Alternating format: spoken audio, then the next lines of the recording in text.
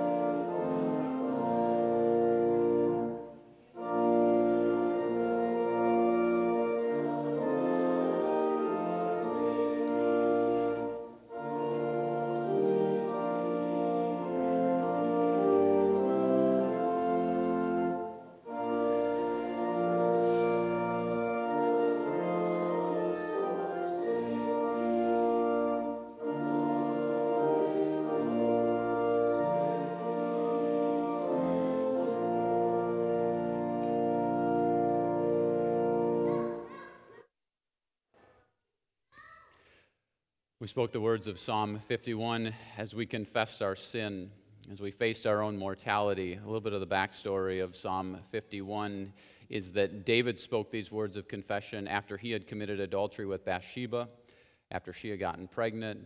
And as that child came into this world as a consequence of that sin, God said that child will not live. And in that moment, David had to face not only his own mortality, but the mortality of his child. And yet, in that, he spoke with confidence, knowing that he would see that child again in eternity. And tonight we can face our own mortality and we can come forward and we can be marked with ashes, but we're also marked with the sign of the cross, knowing that yes, the wages of sin is death, but the gift of God is eternal life in Christ Jesus our Lord.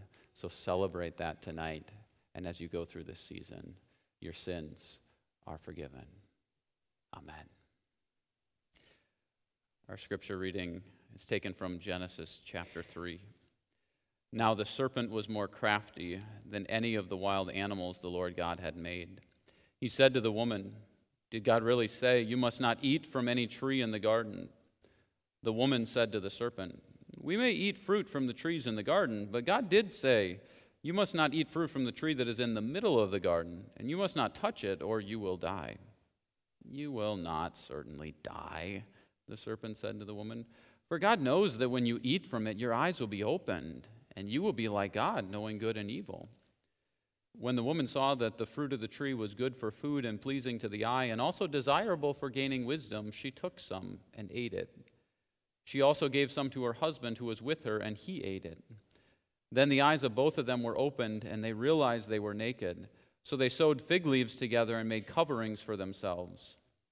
Then the man and his wife heard the sound of the Lord God as he was walking in the garden in the cool of the day, and they hid from the Lord God among the trees of the garden. But the Lord God called to the man, Where are you?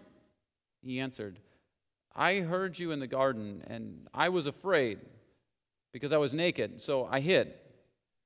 And he said, Who told you that you were naked? Have you eaten from the tree that I commanded you not to eat from? The man said, uh, The woman you put here with me, she gave me some fruit from the tree, and I ate it. Then the Lord God said to the woman, What is this you have done? The woman said, The serpent deceived me, and I ate it. So the Lord God said to the serpent, Because you have done this, cursed are you above all livestock and all wild animals. You will crawl on your belly, and you will eat dust all the days of your life. And I will put enmity between you and the woman, and between your offspring and hers. He will crush your head, and you will strike his heel. To the woman, he said, I will make your pains in childbearing very severe. With painful labor, you will give birth to children. Your desire will be for your husband, and he will rule over you. To Adam, he said, Because you have listened to your wife and ate fruit from the tree about which I commanded you, you must not eat from it. Cursed is the ground because of you. Through painful toil, you will eat food from it all the days of your life. It will produce thorns and thistles for you, and you will eat the plants of the field. By the sweat of your brow, you will eat your food until you return to the ground, since from it you were taken. For dust you are, and to dust you shall return. This is the word of the Lord. We join in singing, In the Shattered Bliss of Eden.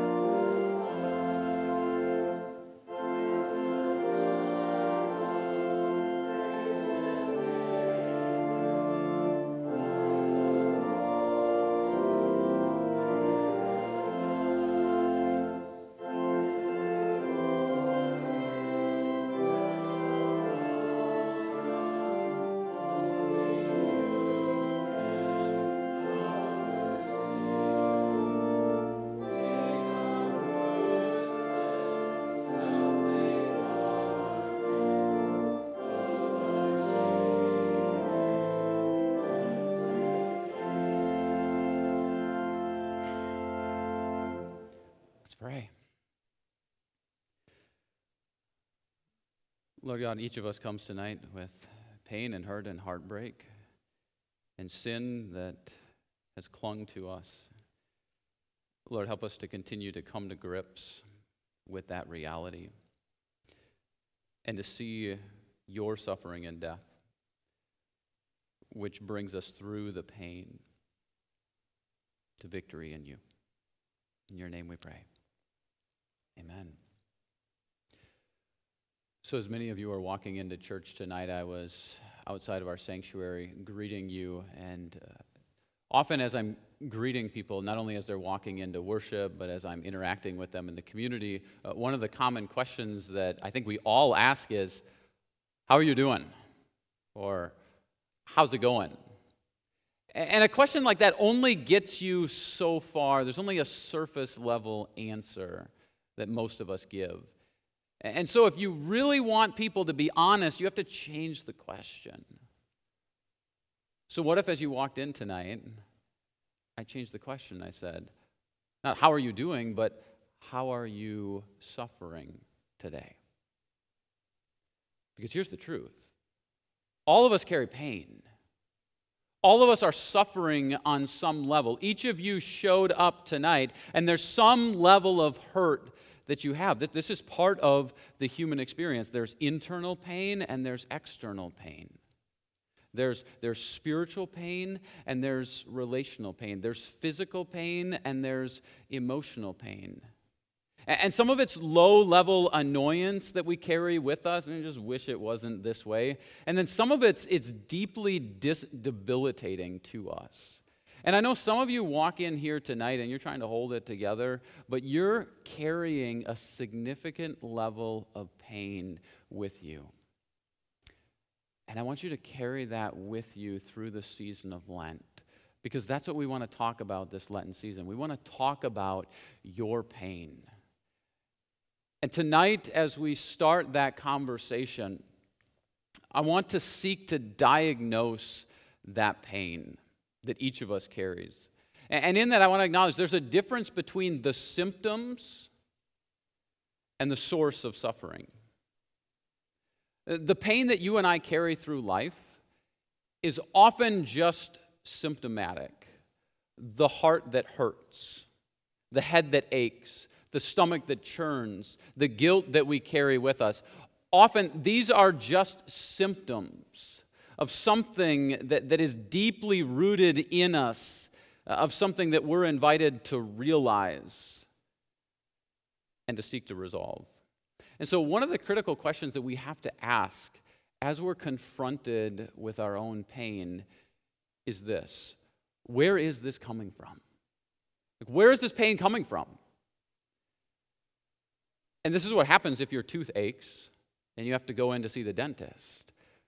He's going to poke around, he's going to take some x rays, and he's going to attempt to answer that question. Okay, where is this pain that you're feeling? Where is it coming from? This is what we do as parents with our kids when they come home in that sullen mood, and we realize, hey, there, there's some level of suffering, there's some level of pain in their life right now. I don't know what it is, and so I have to lean in and I have to ask questions in order to try to diagnose where is that pain coming from. This is what happens if you go to see a counselor. And, and maybe it's over some relationship struggle that you're experiencing, or maybe just emotionally something's not quite right in your life. And so you want somebody to talk this out with. And what does the counselor do? They ask you a series of questions to try to get to the root of where that pain is coming from. It's what happens if you hit your head and you have to go to the ER okay, where is the source of this pain? Where is this coming from?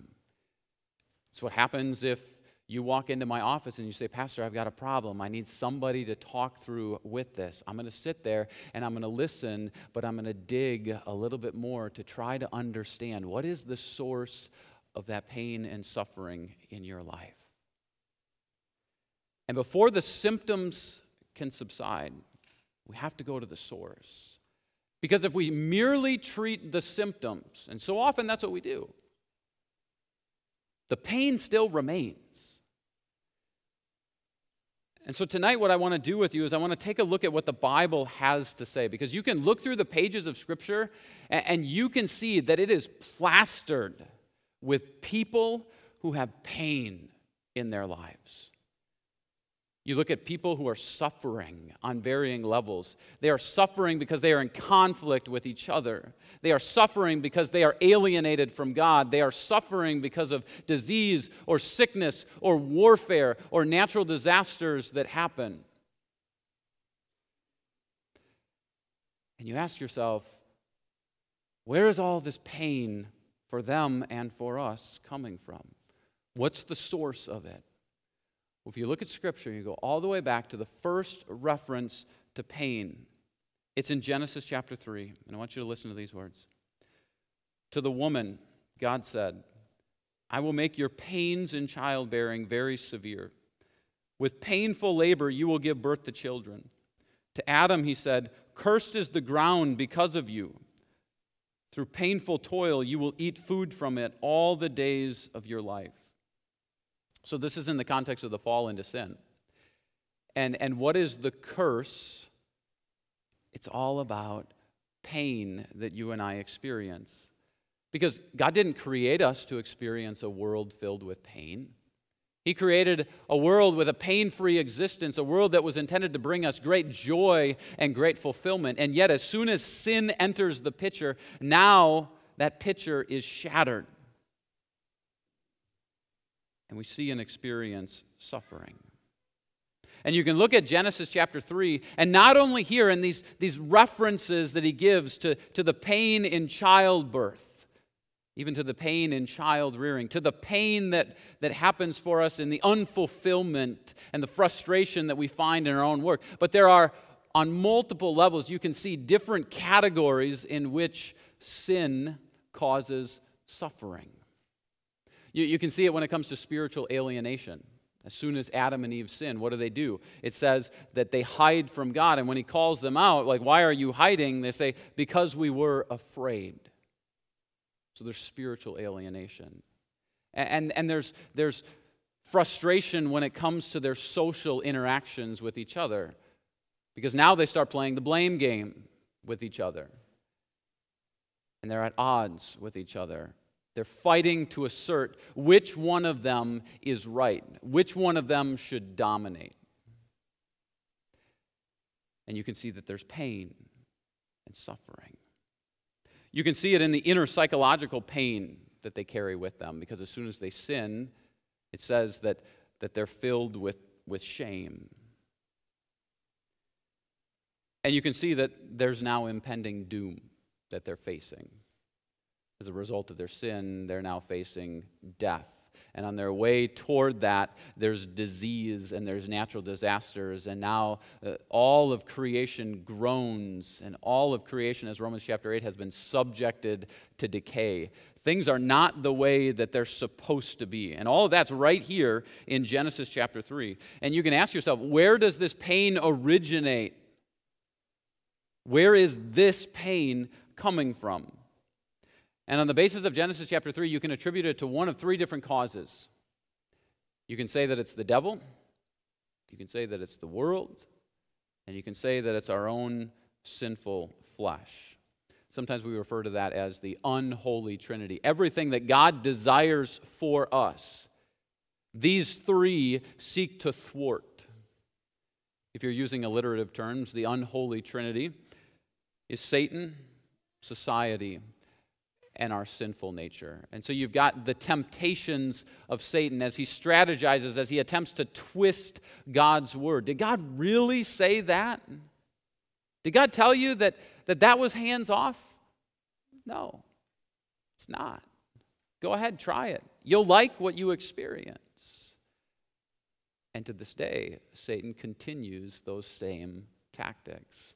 And, then uh, you've got, you've got society as it was originally defined. It was simply Adam and Eve. And we're influenced by each other. And there are times where society leads us astray. And so Eve offers something to Adam. And what does Adam do? He succumbs to the peer pressure, just like you and I do. Because if someone else says that it's worth trying, then we need to try it for ourselves. And then on top of that, there's, it, there's their, their own sinful tendencies where, where they desire something that they don't have. And, and we tend to do the same. I don't have this. I want this. And we think that it's going to offer to us pleasure. But it doesn't. In the end, it leads to pain and frustration. And as you look at your life right now and some of the pain that you're experiencing, I would invite you to consider where is that coming from? What's the source of it? Is it coming from Satan's attacks? Is it coming from society's influence on you? Or is it coming from your own sinful nature? Or maybe it's coming from a combination of all of the above. But what we do, especially as we go through the season of Lent, and what I want to do with you tonight is I want to key in on that last one. I want to talk about sin. Because I believe that suffering and pain are either a direct or an indirect result of sin. And sometimes it's our own sin. Sometimes it's choices that we've made, and God says, because of the choices that you've made, there are going to be natural consequences for that, or there's going to be some form of punishment that we receive for that. So sometimes it's our own actual sin, but sometimes it's because of original sin that we experience pain. It's because Adam and Eve originally sinned. And because of that, we've now seen the effects of sin throughout society and in the hearts of people and even in the created order. And that's where we see disease and natural disaster come into play. Is that a result of any one particular sin that somebody has committed? Is that God's way of doling out punishment on people? Uh, not necessarily. But on one level or another, that is the result of sin. Uh, one question I would encourage you to ask yourself as you carry around pain in your life is simply this How has my sin contributed to the pain that I feel right now? Because this is what the season of Lent invites us into. It invites us into a time of reflection and genuine repentance, where we peel back the layers of the onion, so to speak, and we can ask ourselves is this pain that I carry somehow related to an unconfessed sin that I've committed? So I think back to a couple of months ago, and I could just tell that something was off in how I was feeling. And, and I didn't know how to describe it or how to define it. it. Maybe it was some level of discouragement, maybe it was some level of disillusionment, maybe it was even on some level, maybe a, a little bit of depression. But whatever it was, I wasn't comfortable with it, and I didn't want to live with it and I needed to diagnose it. And the way for me to do that was to call up one of my good friends and mentors who is a seasoned pastor and to say, We need to sit down and talk because I'm struggling. And so we sat down over lunch and I explained to him how I was feeling. And he asked questions, which helped me to peel back the layers and get to the root of it which, shocker of shockers, was a sin in my life. And embedded in that was, was misplaced expectations, was unrealistic expectations that I was placing on other people. I expected others to always get it right. And the more that I saw people not getting it right, the more frustrated and confused and disillusioned and discouraged and yes, even depressed, I became. And then I said it. I said, I've been looking to others to be the Messiah. And they're not. And they can't be. Because only Jesus can. I can't even be the Messiah. And in that moment, I felt this fizzle of false messiahs. And I was able to confess that. And my friend and mentor was able to share with me words of forgiveness. And I walked away from that conversation, and I got to tell you, the pain was gone. I was not carrying that load with me anymore. Now, does that mean that it doesn't occasionally pop up in my life, that I don't still feel those things on some level? Yeah, it happens. But then what do I do? I go back to that reality, confessing that sin and receiving God's forgiveness in my life. And that's what Lent is it's a time for us to lean in, to wrestle with our own sin, to reflect upon it, and to genuinely repent of it. So, uh, the series that we're doing is called Getting Through What You're Going Through. All of us have pain.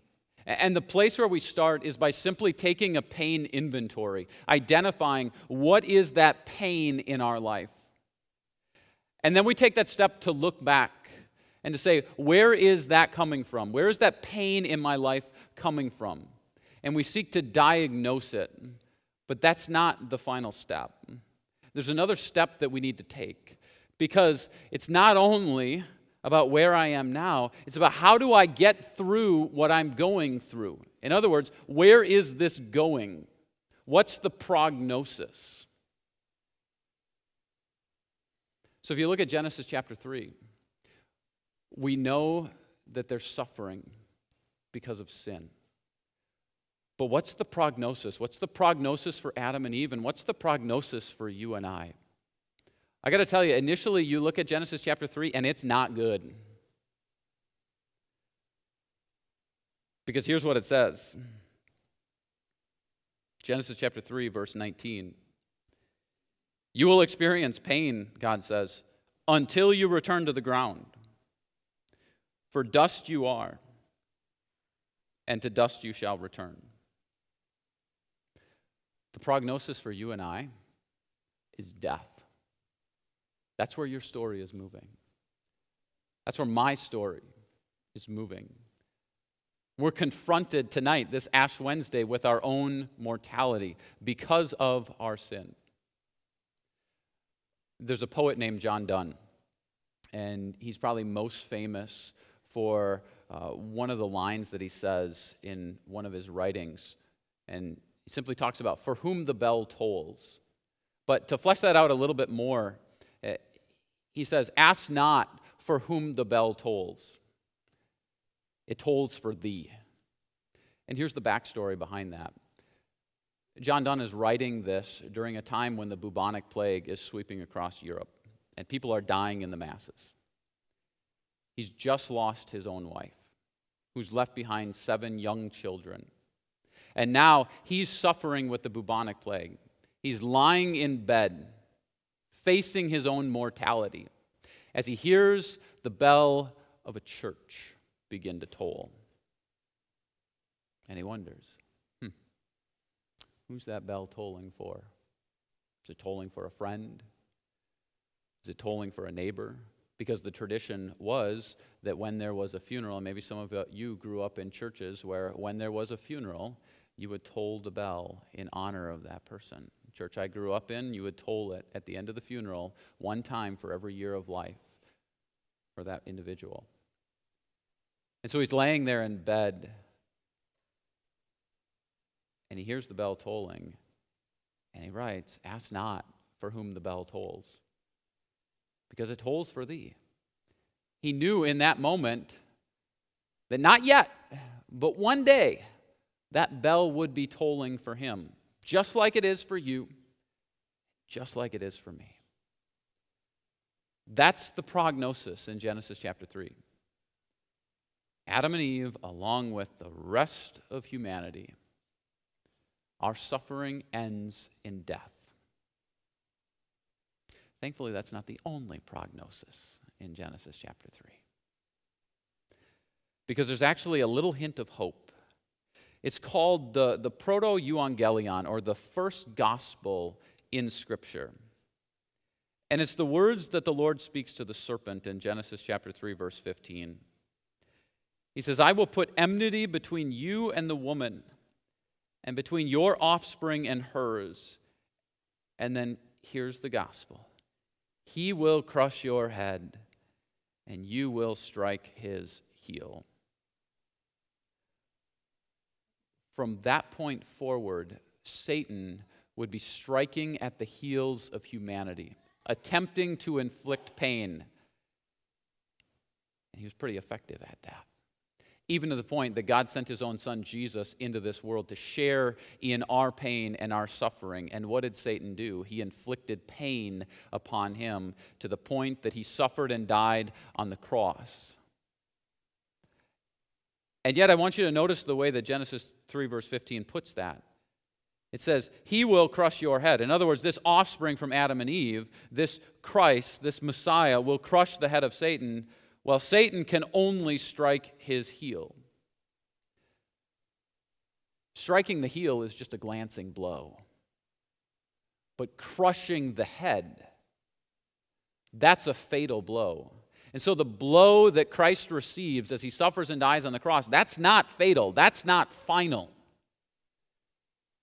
It's a glancing blow until Jesus, in his resurrection, crushes the head of Satan. You see, this is who Jesus is. Jesus is the serpent crusher.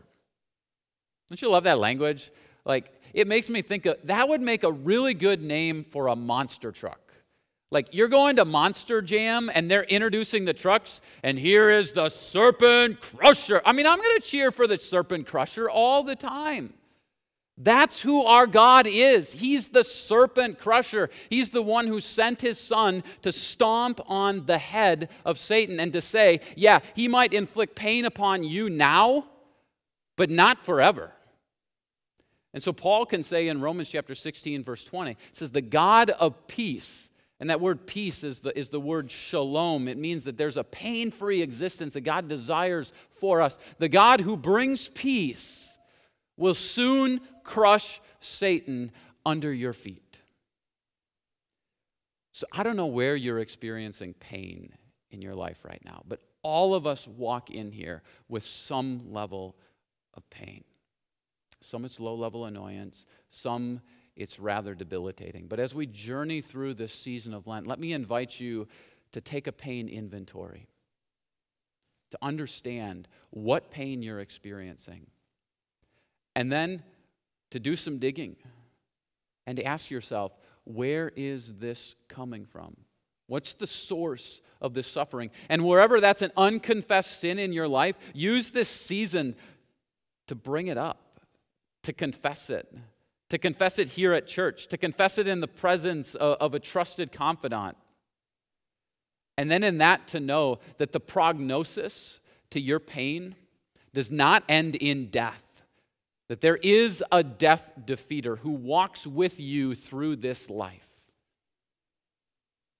May that be enough to get you through whatever you're going through. Amen. Let's stand as we pray.